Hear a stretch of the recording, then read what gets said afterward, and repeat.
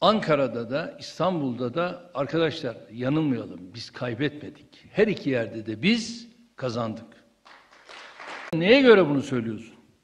Değerli kardeşlerim, bizler buralarda sadece bir vizyon noktasında, vitrin noktasında her iki ilde bir kayba uğradık. Ama ilçeler bazında baktığımızda ilçelerin kahir ekseriyetini biz aldık mı? Her ikisinde de aldık. Meclislerde ki burası karar alma yeri.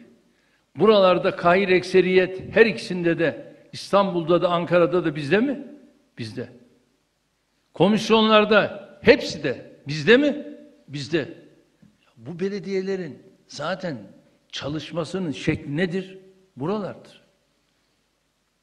Başkanın buralardaki hareket kabiliyeti meclistir, komisyonlardır. Çünkü atacağı adımlar buralarla bağlantılı.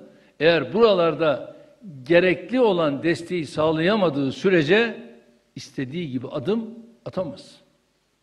Şunu söyleyeceksiniz. O zaman çıkar millete der ki beni çalıştırmıyorlar. E ne yapacak? Sen doğru bir iş yaparsan seni çalıştırır. Sen doğru bir iş yapmadığın zaman tabii ki seni çalıştırmayacak. Bu işin aslı bu.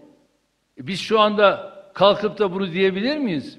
Ya biz işte anayasa değişikliği yapmak istiyoruz. Ama CHP bizi engelliyor diyebilir miyiz? Diyemeyiz. Niye? Ya zaten onun görevi seni çalıştırmamak. Hele hele CHP zihniyetinin görevi tarih boyunca hep böyle olmuştur.